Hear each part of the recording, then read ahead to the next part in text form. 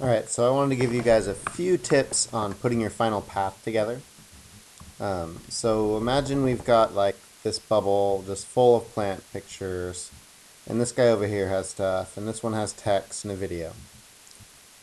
In order to actually set up your presentation, we've got this giant poster, and now what order do you want it to play through? So we're going to go to Edit Path, and we can see our first one. And the first thing you can do is just click on anything and it becomes part two. Maybe we want to click on this one and that whole thing will be part three. You can also click on the words and it will zoom into those words as part four. Click on the movie. The movie becomes part five.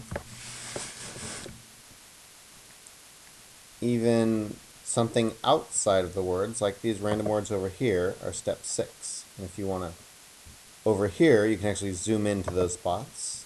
There it goes. Random text over here. But let's zoom out really quick. I do want to show you one more thing that will be very useful to you guys. So we've got tons and tons of pictures, right?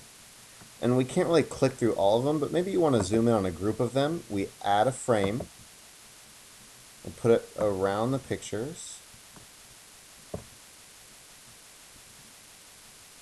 And now this frame can become number two. Let's edit the path. And actually, you know what? Before it goes to number three, after two, you see this little plus symbol? After one, there's a plus. After three, there's a plus. If we take this after two and drag it over to this flower, that flower becomes number 3, and this one is now number 4. After 4, I want it to go over to this random text.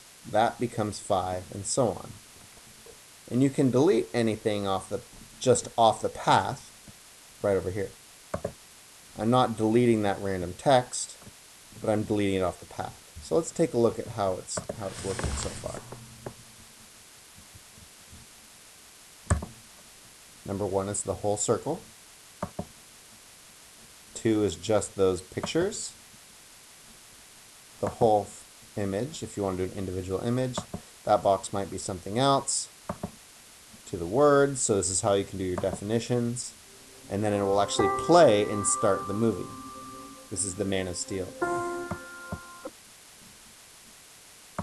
Alright, hopefully you guys get the idea of the path. I did that kind of quick, but you can always pause and watch it again.